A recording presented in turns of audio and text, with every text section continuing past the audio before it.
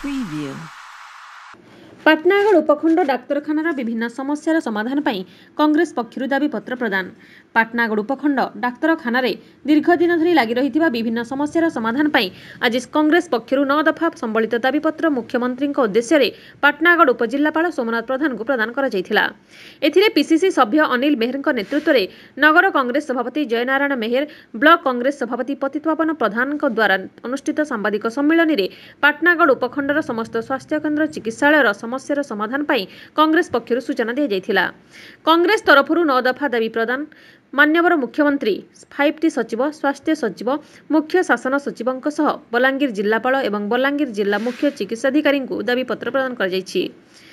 ବଲାଙ୍ଗୀର ଜିଲ୍ଲା ଖପ୍ରାଖୋଲରୁ ଚନ୍ଦ୍ରଶେଖର ବରିହାଙ୍କ ରିପୋର୍ଟ ଓଡ଼ିଶା ଟାଇମ୍ସ।